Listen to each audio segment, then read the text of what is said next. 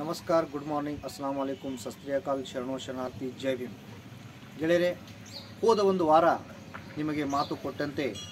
ಈ ವಾರ ಏನಪ್ಪ ಅಂತಂದರೆ, ಇಡೀ ದೇಶದಲ್ಲಿಯೇ ಅದ್ಭುತವಾದಂತಹ ಒಂದು ಸುಂದರಿ ಏನಪ್ಪ ಅಂದ್ರೆ ಶಾಸನ ಬರೀತಕ್ಕಂಥ ಅದ್ಭುತ ಶಿಲೆಯನ್ನು ನಿಮಗೆ ತೋರಿಸುವುದರೊಂದಿಗೆ, ಆ ಒಂದು ಶಾಸನದಲ್ಲಿರ್ತಕ್ಕಂಥ ವಿಷಯವಸ್ತು ಕೂಡ ನಿಮಗೆ ತಿಳಿಸಲು ಪ್ರಯತ್ನಿಸಲು ಬಂದಿದ್ದೇನೆ. ಗೆಳೆಯರೆ, ಈ ಒಂದು ಸುಂದರಿ ಶಾಸನ ಬರಿತಕ್ಕಂತಹ ಶಾಸನವು ಈಗಾಗಲೇ ಹೇಳಿದಂತೆ ದೇಶದಲ್ಲಿಯೇ ಪ್ರಥಮ ಶಾಸನ ಅಂತಕ್ಕಂಥ ಹೆಗ್ಗಳಿಕೆಗೆ ಪಾತ್ರವಾಗಿದೆ.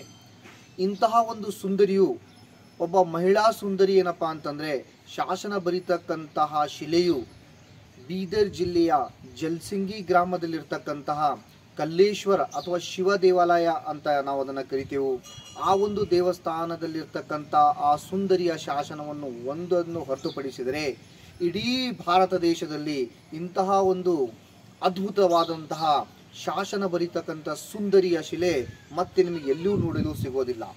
ಅಂತಹ ಅದ್ಭುತವಾದಂತಹ ಐತಿಹಾಸಿಕವಾಗಿರ್ತಕ್ಕಂತಹ ದೇಶದಲ್ಲಿಯೇ ಪ್ರಥಮ ಸುಂದರಿ ಶಾಸನ ಬರೀತಕ್ಕಂಥ ಅದ್ಭುತ ಶಿಲೆಯನ್ನು ತೋರಿಸುವುದರೊಂದಿಗೆ ಅವಳು ಬರೀತಕ್ಕಂಥ ಆ ಶಾಸನದ ವಿಷಯವಸ್ತು ಏನು ಅಂತಕ್ಕಂಥದ್ದನ್ನು ಕೂಡ ನಾನು ನಿಮಗೆ ಇಲ್ಲಿ ಹೇಳಲು ಬಂದಿದ್ದೇನೆ.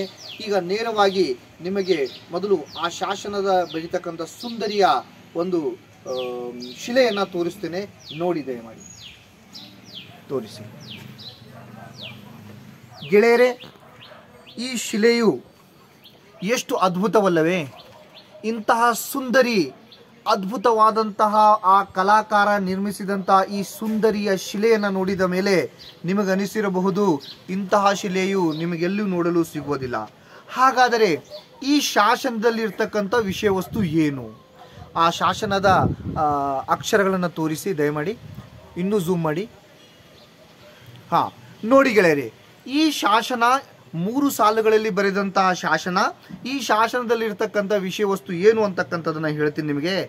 ಸಪ್ತ ದ್ವೀಪೋದರಿ ಭೂತಂ, ಭೂತಳಂ ಸ್ವೀಕರಿಸ್, ಸ್ವೀಕರಿಷ್ಯತಿ ಚಾಳುಕ್ಯ ವಿಕ್ರಮಾದಿತ್ಯ ಸಪ್ತಮೋ ವಿಷ್ಣುವರ್ಧನ ಅಂತಕ್ಕಂಥ ಮಾತು ಈ ಶಾಸನದಲ್ಲಿ ಬರೆಯಲ್ಪಟ್ಟಿದೆ. ಹಾಗಾದರೆ ಇದರ ಭಾವಾರ್ಥ ಏನು ಅಂತಂದ್ರೆ ಸಪ್ತ ದ್ವೀಪಗಳಲ್ಲಿಯೂ ಶ್ರೇಷ್ಠನಾದ ವಿಕ್ರಮಾದಿತ್ಯನು ಏಳನೇ ವಿಷ್ಣುವರ್ಧನನಾಗಿದ್ದಾನೆ ಅಂತಕ್ಕಂತಹ ಹೊಗಳಿಕೆಯ ಶಾಸನ ಇದಾಗಿದೆ ಗೆಳೆಯರೆ.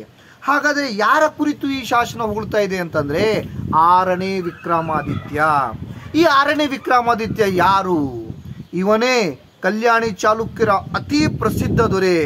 ಇಡೀ ಈ- ಶಾಸನದಲ್ಲಿರ್ತಕ್ಕಂಥ ವಿಶ್ವ ಸುಂದರಿಯ ಆಮ್, ಶಾಸನವು ದೇಶದಲ್ಲಿ ಪ್ರಥಮ ಮಹಿಳಾ ಶಾಸನ ಅಂತಕ್ಕಂತಹ, ಸುಂದರಿ ಬರಿತಕ್ಕಂಥ ಪ್ರಥಮ ಶಾಸನ ಅಂತಕ್ಕಂಥ ಹೆಗ್ಗಳಿಗೆ ಪಾತ್ರವಾಗೋದು ವಾಗೋದು ಅಷ್ಟೇ ಅಲ್ಲ, ಈ ಆರನೇ ವಿಕ್ರಮಾದಿತ್ಯ ಇನ್ನೊಂದು ವಿಷಯದಲ್ಲಿ ಏನಪ್ಪಾ ಅಂದ್ರೆ ಪ್ರಖ್ಯಾತಿ ಪಡೆದಿದ್ದಾನೆ.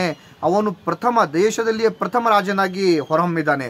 ಆ ವಿಷಯ ವಸ್ತು ಏನು ಅಂತಂತಂದ್ರೆ, ಆತನು ಬರೆದಂತಹ ಒಂದು ಸಾವಿರಕ್ಕಿಂತ ಹೆಚ್ಚು ಶಾಸನಗಳು ಏನಪ್ಪಾ ಅಂತಂದ್ರೆ ಬರೆದಂತ ಪ್ರಸಿದ್ಧ ರಾಜ ಯಾ ಭಾರತ ದೇಶದಲ್ಲಿ ಏಕೈಕ ಯಾರಾದರೂ ಇದ್ದರೆ ಆತನು ಆರನೇ ವಿಕ್ರಮಾದಿತ್ಯನಾಗಿದ್ದಾನೆ ಗೆಳೆಯರೆ.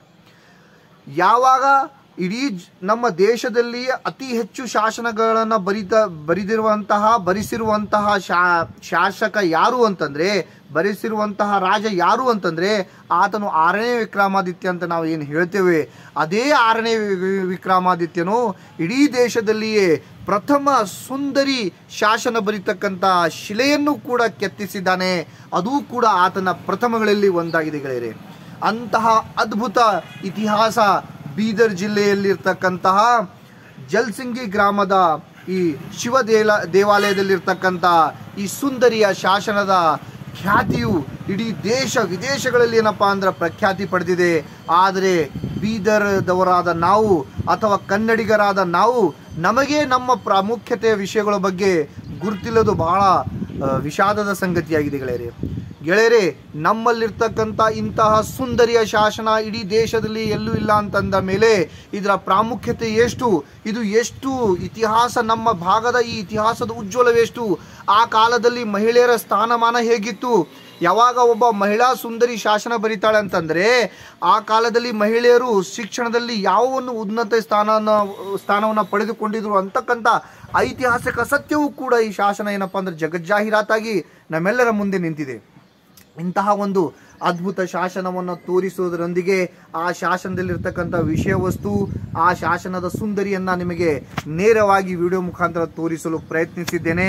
ಇಂತಹದೇ ಈಗ ಮುಂದಿನ ವಾರದಲ್ಲಿ ಈ ಒಂದು ಶಿವ ದೇವಾಲಯ ಇರ್ತಕ್ಕಂಥ ಶಿವ ದೇವಾಲಯ ಹೇಗಿದೆ, ಅಲ್ಲಿರ್ತಕ್ಕಂಥ ಇನ್ನೂ ಬಹಳಷ್ಟು ಏನಪ್ಪ ಅಂದರೆ ಶಿಲೆಗಳು ಯಾವ್ಯಾವ ವಿಷಯಗಳನ್ನು ಒಳಗೊಂಡಿವೆ, ಅಲ್ಲಿ ಎಷ್ಟು ಶಿಲೆಗಳಿವೆ ಹಾಗೂ ಆ ದೇವಾಲಯದ ಏನಪ್ಪ ಅಂತಂದ್ರೆ ರೂಪ ಹೇಗಿದೆ, ಹೀಗೆ ಎಲ್ಲ ಸಮಗ್ರವಾದಂತಹ ಆ ದೇವಾಲಯದ ಒಂದು ಇತಿಹಾಸವನ್ನು ಮುಂದಿನ ವಾರದಲ್ಲಿ ನಿಮಗೆ ಹೇಳ್ತೀನಿ ಅಂತಕ್ಕಂಥ ಮಾತುಗಳನ್ನು ಹೇಳೋದ್ರ ಮೂಲಕ ಈ ಅಧ್ಯಾಯವನ್ನು ಇಲ್ಲಿಗೆ ಮುಕ್ತಾಯ ಮಾಡ್ತೀನಿ. ಜೈ ಹಿಂದ್, ಜೈ ಕರ್ನಾಟಕ.